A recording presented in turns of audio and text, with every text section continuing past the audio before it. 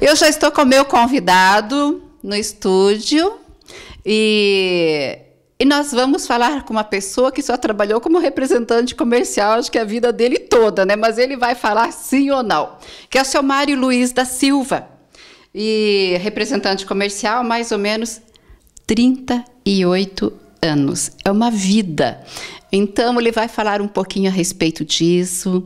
Nós vamos falar um pouquinho a respeito deste momento que nós estamos passando a pandemia, como que está, né, o trabalho dele, que ele viaja bastante, se diminuiu ou não, como é que está, como é que não está, nós vamos saber, tá bom?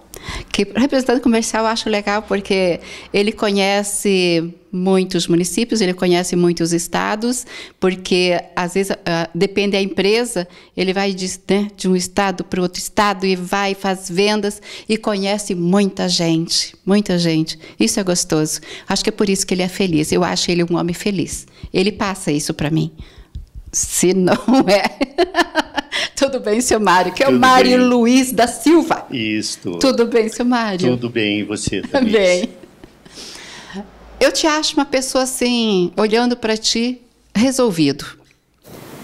É? Sim. É? Sou, sou resolvido. Como você falou, uma pessoa alegre, eu sou feliz. Como Temos, pessoa, como. Como profissional, como ser humano. É, como você falou, a, a minha vida praticamente foi em cima de vendas, na estrada, conhecendo muita gente, pessoas que viraram amigos. Eu tive clientes que eu fui padrinho de casamento. Sério? Então tudo isso, e, tudo isso acontece, né, aconteceu nesses 38 anos também. Nossa, acho também que 38 anos, seu Mário, você deve ter muitas histórias, não tem? Muitas. Histórias, Muitas histórias. Umas tristes, às vezes, outras bem alegres, inusitadas. Sim, com certeza. Eu até vou te contar uma rapidinho, Conta, uma coisinha não, eu quero que, que aconteceu. Eu viajava, viajo no Paraná e eu viajava na época uma região, uma cidade chamada Roncador. E para chegar lá era tudo terra. Uhum. Então cheguei um dia, no inverno, muito, cheguei no único hotel da cidade que tinha. Frio? Frio. Eu cheguei no hotel, pedi um, um quarto, na época não existia apartamento, não tinha. Aí ela falou, não, eu tenho lá na, uma cama lá na dispensa, onde eu guardo, mas é, mas é limpinho, eu coloco um...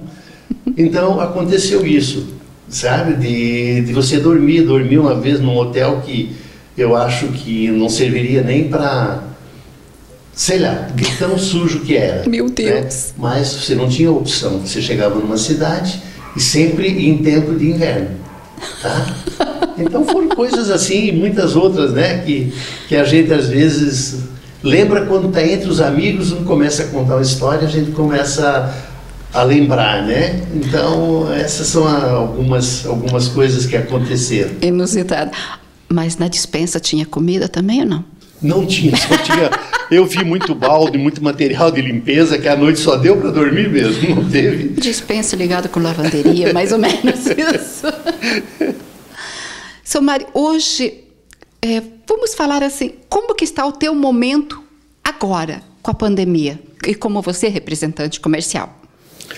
Eu como representante comercial, para mim hoje está ótimo. Puxa, por incrível que, bom, que pareça, amém. seria assim como dizem os representantes, né? Os donos de empresa, é, vocês falam para que a gente eh, nos convençam a comprar. Não, não é isso.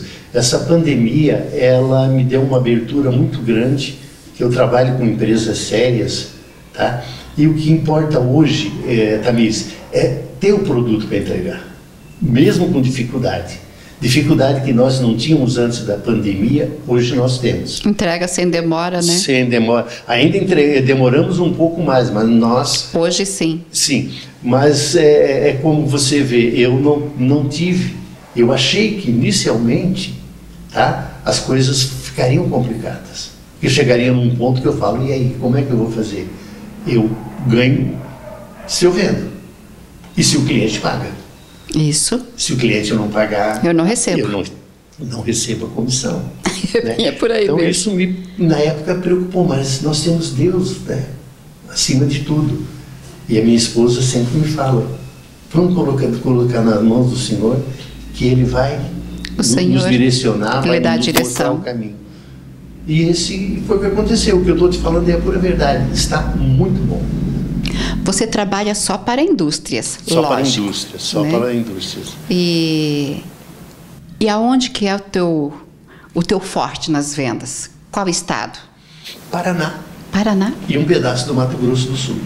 Ah, então onde nós chegamos. É. Muito bem.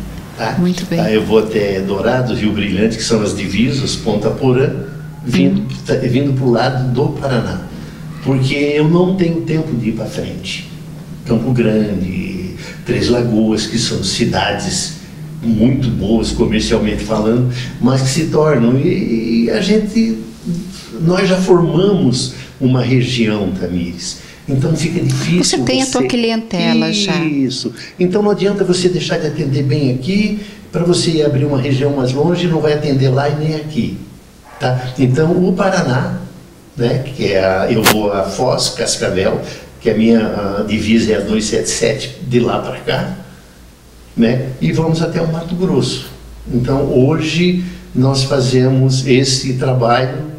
Daqui a pouco eu acho que você vai me perguntar, eu vou esperar você me perguntar para te responder. Mas é, você vende desde uma escadinha de alumínio até um saco de cimento? Como que é? Quais são teus produtos? Os meus produtos são os seguintes: meu carro-chefe, que nós falamos, Sim, né? sim, sim. Modo de falar, é tintas Killing. É sério? É, é uma indústria gaúcha. Né? Estando entre as dez principais indústrias de tinta do Brasil. É mais conhecida nos três estados do sul e um pouco no Mato Grosso, que eu levei ela, como diria assim, né? O, hoje que é o meu presidente da, da, da, da Killing, ele falava para mim, "Não, se você quer ir, vai, mas você não vai ter o meu apoio. Aí eu fui até o Mato Grosso, hoje ele é, é, hoje já representa para nós Hoje ele te apoia? me apoia e hoje eu tenho também nas divisas eu tenho a exportação. Qual que é o nome do presidente? É Milton Killing. Milton Killing. Um abraço para o senhor, que Deus abençoe, viu? Há quanto tempo você já faz essa representação da Tintas Killing? Na Tintas Killing eu fiquei nove anos como vendedor funcionário e há 23 anos eu estou como representante comercial. E, deu, e deu certo. Graças a Deus, deu certo. Foi um casamento que. Um casamento que e deu que está certo. dando certo. E está dando certo. Que- E eu, e voltando a falar no Milton Killing, ele, sempre que ele me encontra, ele fala: Você sabe que você tem que andar direito. E você é o único cara que foi contratado por mim. né? E ele era, na época, um gerente de, uma, de um CD em Maringá. Ah, Que ele, ele foi preparado para ser o presidente. Ele é a segunda geração. Nosso fundador é o senhor Leopoldo Celestino Killing, que faleceu fazem três anos. E então ele veio, ele foi preparado desde baixo para chegar onde ele está hoje. viu? É uma SA, né? uma empresa. Quando se leva a sério. É, é. E depois nós temos a, uma, a Electric, que é uma indústria de caixas d'água, de tubos e conexões, que é uma empresa a nível, aí essa já é a nível Brasil. Ela existe oito fábricas no país.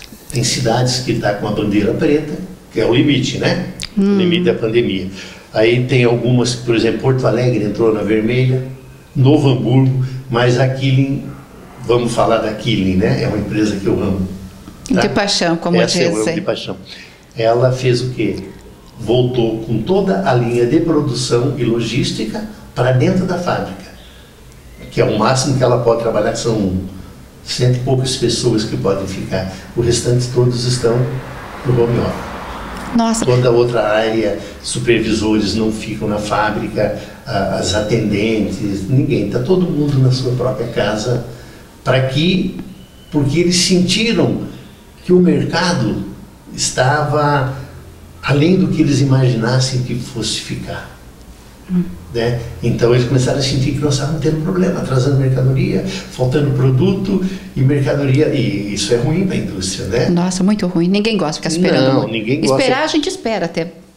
Mas não aquele esperar abusivo, né? É, é. E, então, mas eu tenho assim exemplo de outras empresas eh, concorrentes, né, que muito maiores do que as nossas estão com um atraso, porque de repente, como é uma empresa, uma, aquilo é uma SA, mas ela é uma empresa, como eu posso te falar, quase familiar. Eles são em nove irmãos. Ai, que maravilha, que benção. Tá? Então, o Milton é o único que está na empresa. Os outros ficam no conselho. No conselho da família, que é um grupo que tem chamado Kellon, tá? e mais é, pessoas que de fora também contratadas. Né?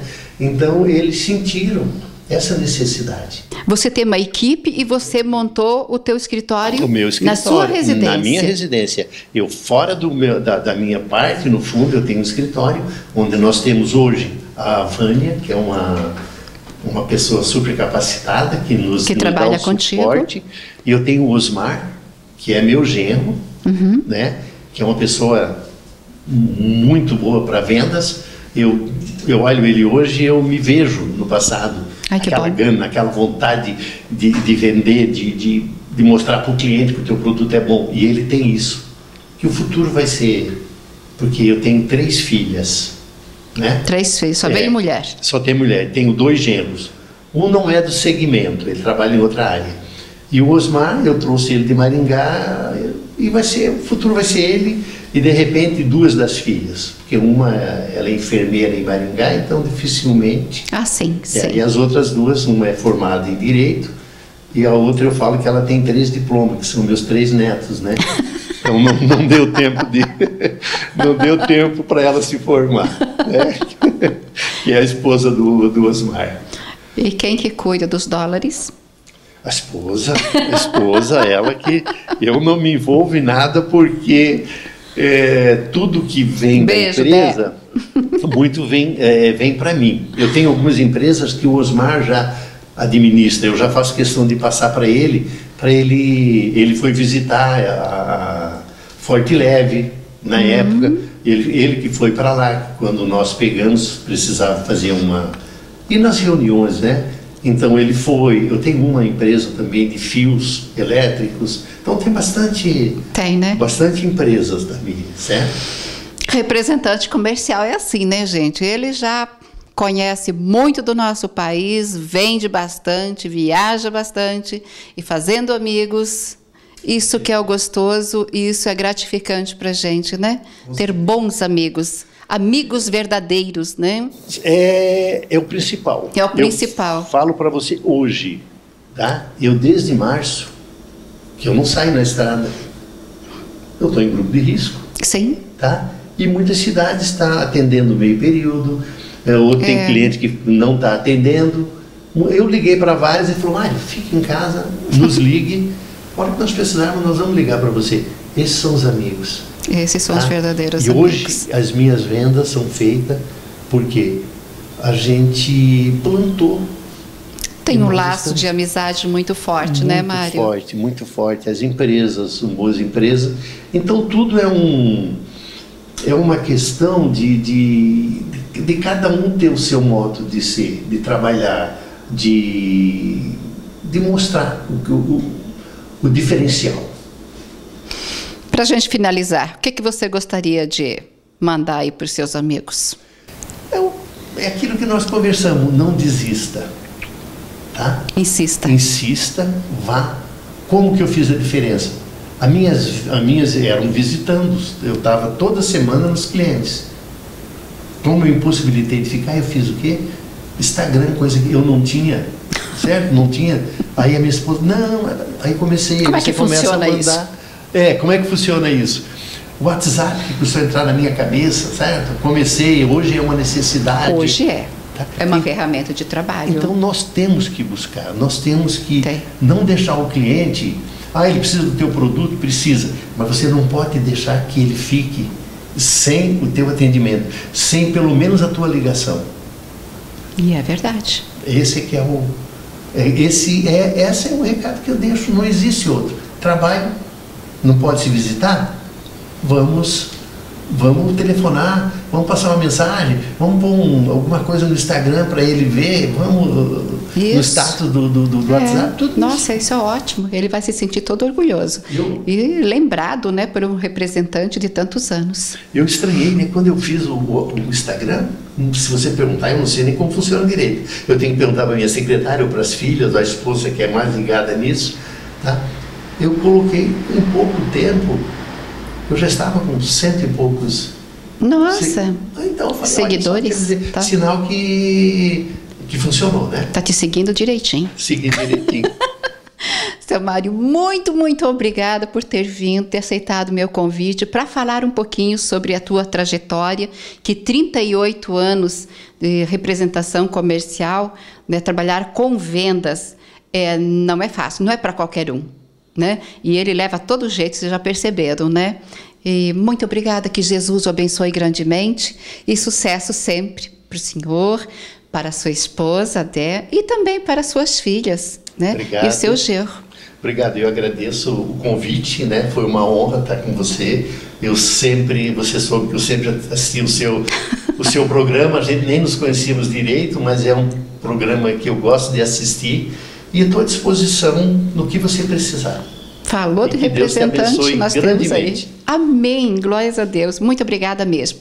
Eu vou para o comercial e volto já já com vocês.